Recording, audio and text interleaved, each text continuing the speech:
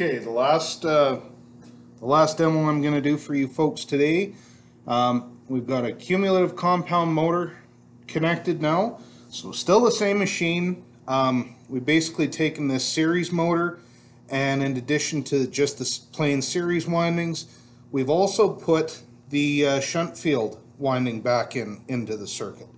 So our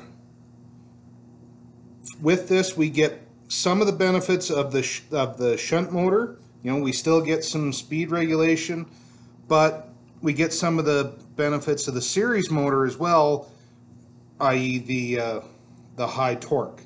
So we're gonna start. We'll start this up and bring it up to speed.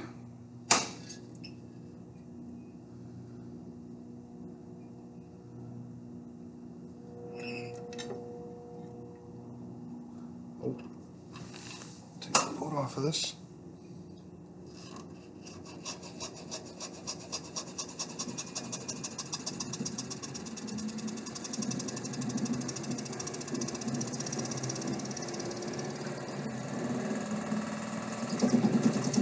This one does a better job at limiting the starting current. So we can bring our voltage up fairly quickly with this one.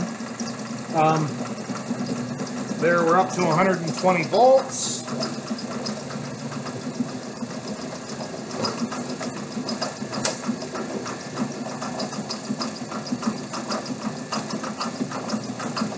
We're at 1746 RPMs, so we'll just adjust the uh, shunt field resistance.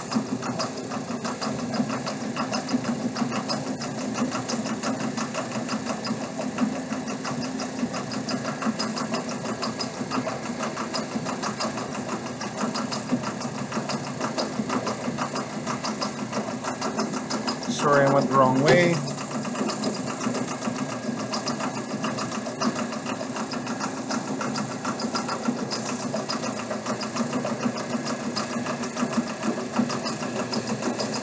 First time I got lucky today, 1800 RPM on the dot. So we got no load on this. Uh, we're running about an amp of armature current. So we're just gonna slowly bring put some load on this. So we'll take it up to two newton meters of load.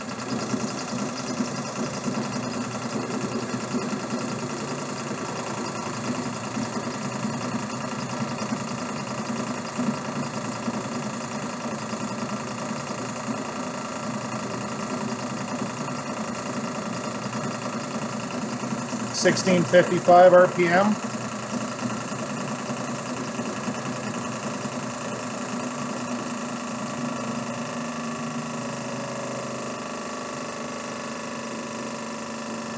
Four newtons of load.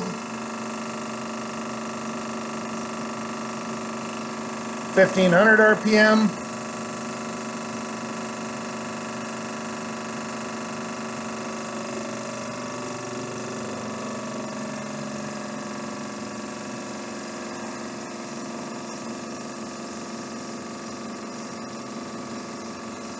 Six newtons of load, we're at thirteen eighty-three.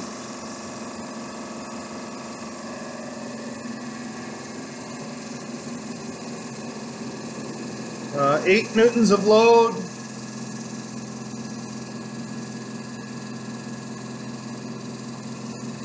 Twelve eighty-five. And at ten newton meters of load.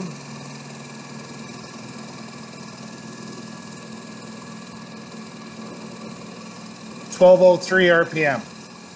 But notice that our armature current, so our current to this machine is about 17 amp.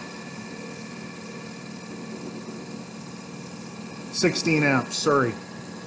Um, which is lower than, quite a bit lower than the series motor was. Lo it's lower than the series motor was at this point. Um, lower than the shunt motor was at this point. Um, the speeds come down, but this motor could we could still load it up further. So we'll take this if we want to take this up until we uh, max out our armature current we're up to almost 30 so 15 newtons of, of load. I can't run it very long or it pops our bench bench fuses. Pull the load back off of that.